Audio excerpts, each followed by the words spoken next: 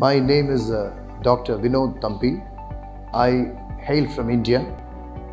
I have done my medical graduation as a MBBS doctor. Subsequently, did my post graduation in MD Internal Medicine, and then went for my super specialty training in neurology. And uh, then I completed my masters in hospital administration and uh, did a PhD as well.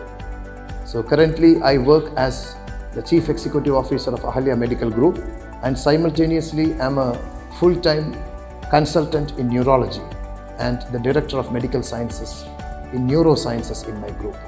So Thank that's being a CEO at the same time you uh, still do consultation. Yeah, every day it happens, even today. Uh, aren't you supposed to be just like sitting in your office and just um, like probably sign papers? You still do the doctor stuff. Yeah, yeah, that has been a passion in my life. Yeah. Speaking of passion, was it always your passion to uh, be a doctor, or was it like a family advice? I come from a family of engineers. My grandfathers, both of them, my dad, my brother, all were engineers and they excelled in their professions. At the same time, I took inspiration from maybe the community to understand that medicine was my method. At the same time, right from the age of 17, when I joined the medical school, I wanted to become a neurologist and not just a doctor. So I was very clear about choosing my specialty even before I attained majority at the age of 18 years. I took uh, the medical profession very seriously and I was the gold medalist in MBBS from my medical college. So I was uh, obviously, I could say the best student of my batch of 200. And then I was the first rank holder for MD internal medicine as well as in neurology.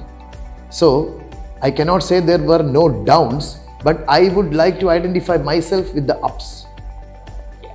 Then, of course, when you start to practice neurology, I came to understand that beyond the textbooks and beyond the syllabus, there are many, many things that to be learned. Because east and west, there is so many research activities happening, so many updates, so many textbooks, journals, then online education systems. So then I understood that if I had to continue my up and go up in career as I dreamt, I had to really read, write, study, attend conferences, and not just for uh, uh, tourism purpose. I had to do it at least three to four hours a day, despite being a heavy practitioner. I have worked in many medical colleges as a teacher in neurology.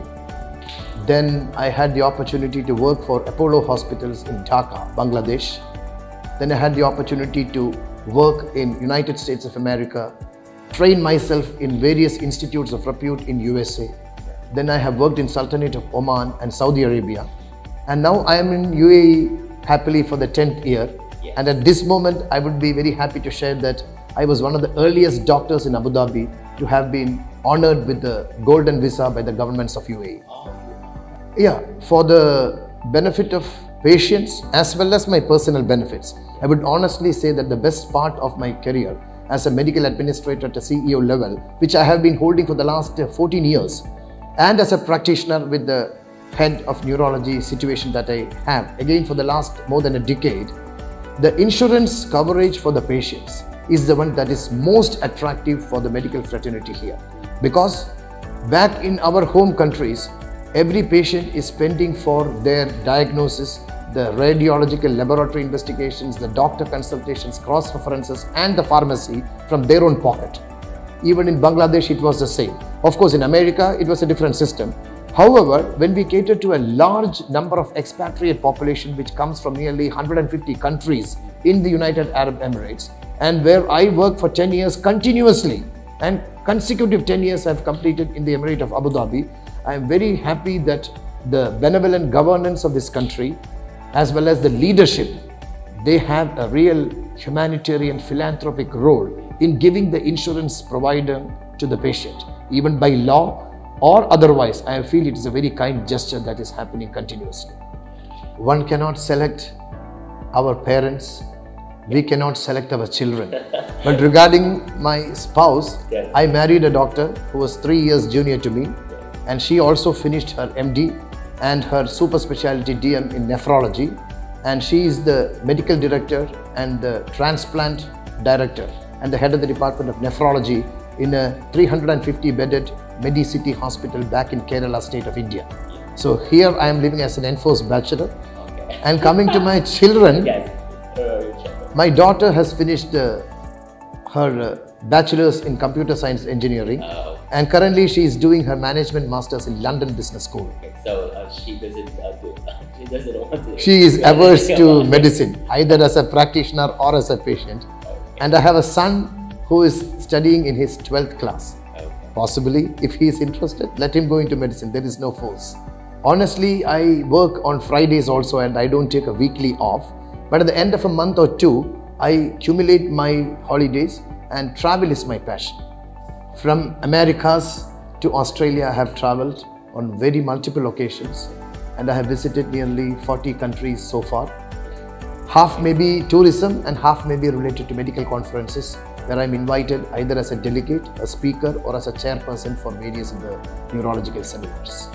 Oh, well, uh, it is not a personal achievement that I would like to stress in this interview because I know it is going to reach a large number of your audience.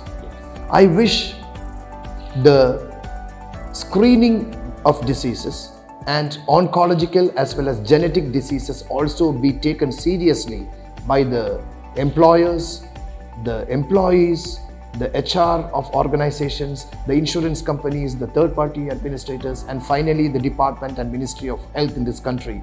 So much so that if these things also are included among the insurance coverages, we will be able to serve a much bigger population with the same expertise and infrastructure. Well, success I feel uh, comes every day. It depends on whether you want to evaluate your success on a daily basis or a weekly basis on certain figures. On a monthly basis, the parameters may change. On a quarterly basis, the organization where you work will also have to contribute to one success. And on the yearly basis, it may be the financial derivatives. So, I want to be a successful man on a daily basis, weekly basis, monthly basis, quarterly basis, and on an annual basis. So, some elements of this success would be personal, some elements of success will be confined to the Department of Neurosciences, some elements of success will be hospital based, and finally, I want the whole group, the all service providers in the government and private sector in UAE and the world to be successful. And I feel that one would be really successful if there is no disease and death in the community, which may be a little uh, unreasonable uh, expectation.